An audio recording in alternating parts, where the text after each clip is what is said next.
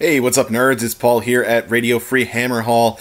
Today, we are going to talk about optimizing the use of Sloppity Bilepiper and Spoilpox Scrivener.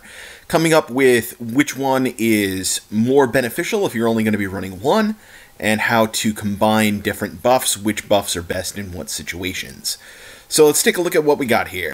Sloppity Bilepiper has three options, um, all affect all demons wholly within 14 inches, and Spoilpox Scrivener, he only impacts plague bearers that are wholly within 14 inches and only one unit at a time. Sloppity Bilepiper, he can give you plus one attack, doing mortal wounds on sixes to hit, and preventing enemy pile in. Spoilpox Scrivener also gives you plus one attack. He can add one rend or add one to save. So, what's better? What? How do we use these? What uh, are the preferences we have here? Because these are all really good abilities. So let's take a look. The units that we're probably going to be using these on are our plague bearers that are typically going to be our battle line, and they're a really strong anvil unit. Although, as we'll see here, we can pop off some serious attacks here and there with them. Um, your plague drones are primarily your hammer unit, and then your Pusgoyle Blight Lords. Uh, they have high mobility in conjunction with the Lord of Afflictions. Um, they also can hit just about as hard as plague drones do, but they're not plague bearers, so they're not going to be benefiting from sloppy uh, from Spoilpox Scrivener. Only Sloppity Bilepiper. So once again, I did a whole lot of math to try and figure all of this out. And uh, I'm going to spare you that unless you want to just sit here and analyze this. But this isn't all of the spreadsheets. This is just a little couple of screenshots just to give you a flavor of what I'm saving you from.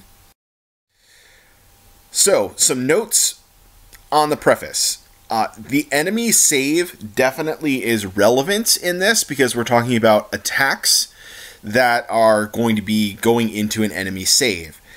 Um, and that's going to determine whether or not uh, certain buffs are going to be better than others. Plague drones get all kinds of buffs, and they had um, tons of synergy. It's hard to get all of the buffs on them at one time. That's kind of the only trick there. Great Unclean One and Glotkin both offer plus one to attack buffs. We're only going to assume that there's one of these present um, and available to buff the unit as well. Um, your command points are scarce in Nurgle, so we're just going to assume you only have one command point per turn to spend on buffing attacks. So also, we're not really going to be evaluating the defensive capabilities of these two options. I will uh, make some notes about that at the end, but for right now, um, it, the issue is Sloppity Bilepiper's fart ability is really not quantifiable.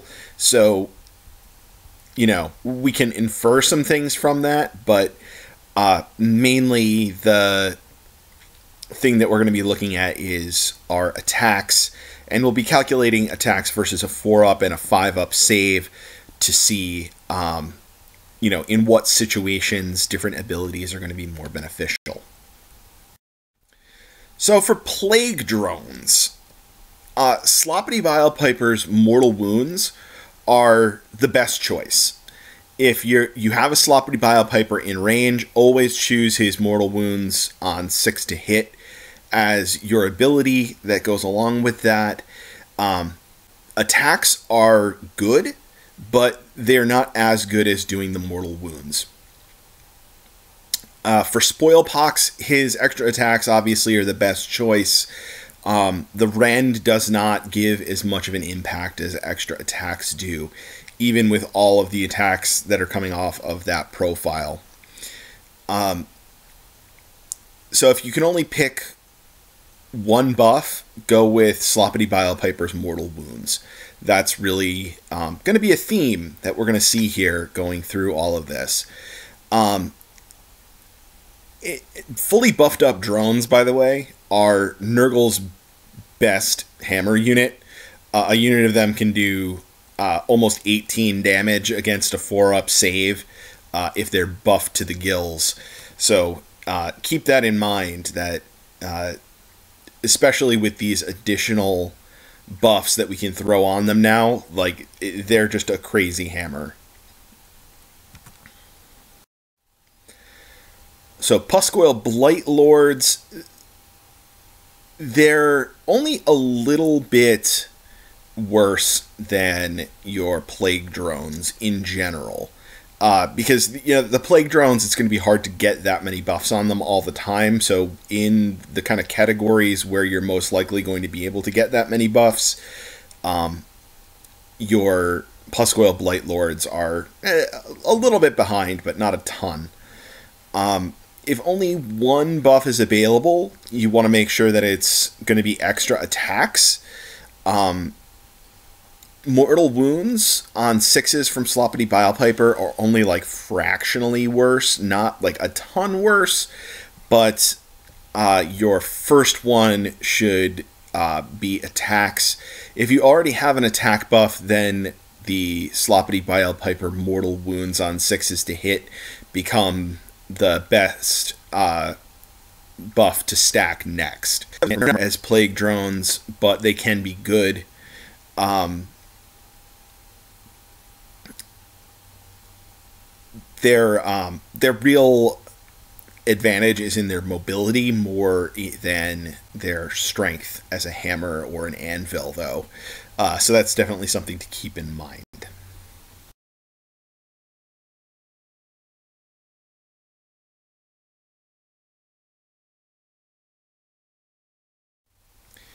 And finally, Plague Bearers. These guys are mostly on defense. Their first buff generally should be plus one to attacks if you're against a five up or a six up save. Sloppity Bilepiper's mortal wounds are better against a four up save or better.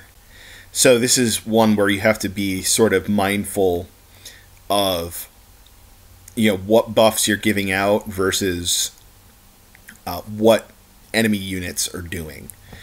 So, if your first buff uh, is, or if your only buff rather is Sloppy Bile Piper, and you're going up against a five up save, then your best trick is to go with plus one attack. If there's already a plus one attack in play, or if the save of the enemy unit is four up or better, then it's better to go with the mortal wounds from Sloppy Bile Piper. Note, nowhere in here is the Rend from Spoilpox Scrivener. Uh, that is generally worse.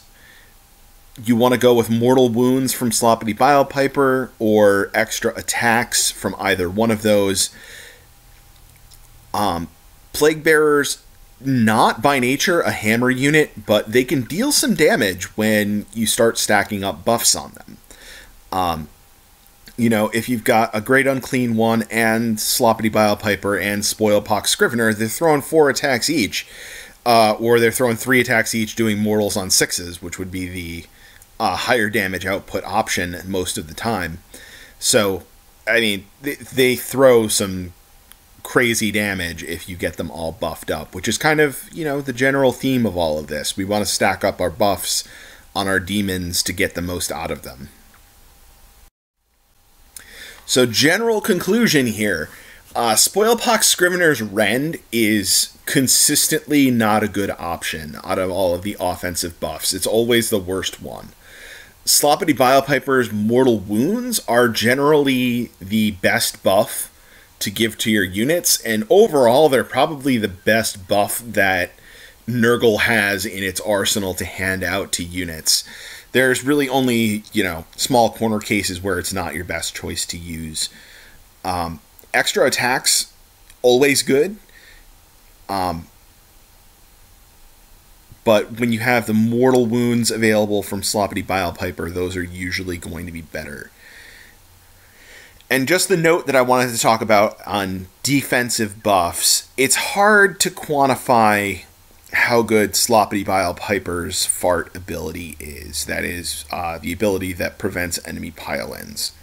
So let's just look at an example an enemy unit.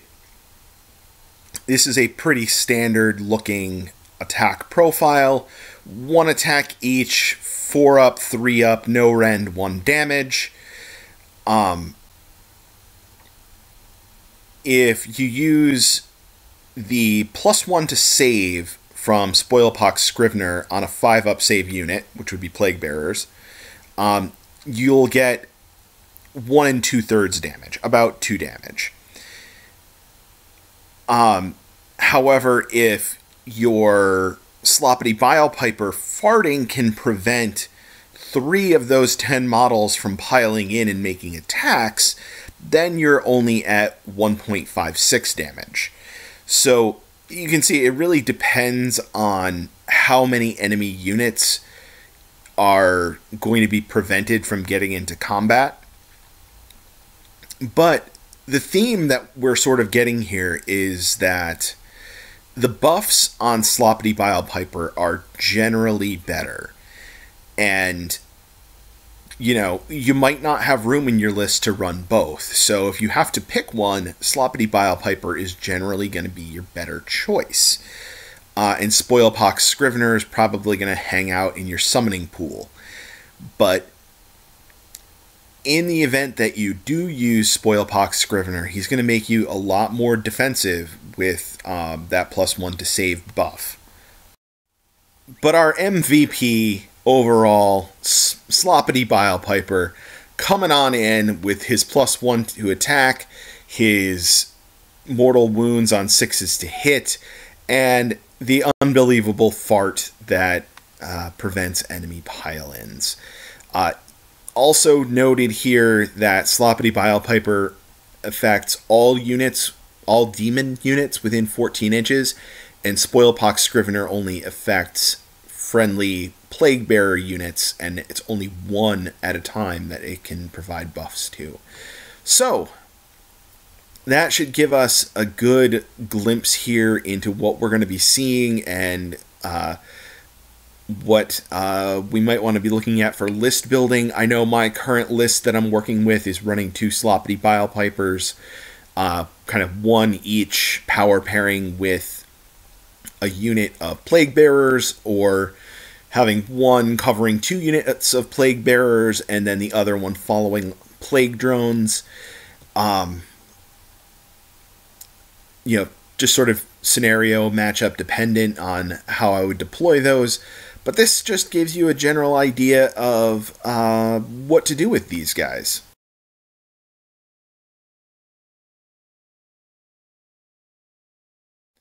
Hopefully, this has been informative for you. Thank you for watching as always.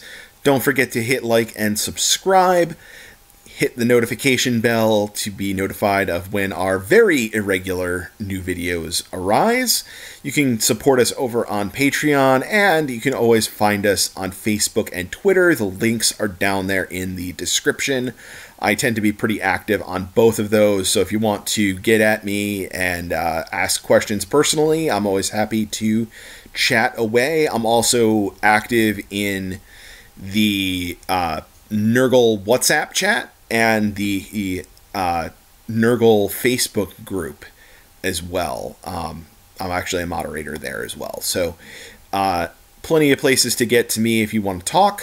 Um, always happy to talk things and not just Nurgle. Um, here for you guys in all of your Age of Sigmar needs. And hey, if you need something else in your life, just need somebody to talk to for some reason, I'm always happy to lend an ear. So, with that, I thank you all once again, and I'll talk to you all later.